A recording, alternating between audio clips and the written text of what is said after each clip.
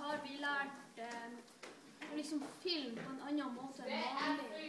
Liksom på iPad. I stedet for å ha sånne små liksom, eh, småfilmer, så kan man liksom redigere liksom, redigere på en spesiell måte, sånn at vi liksom får de kule effektene som vi skal ha, legge til musikk og alt det vi trenger. Og så kan man lære seg å redigere inn forskjellige lydeffekter.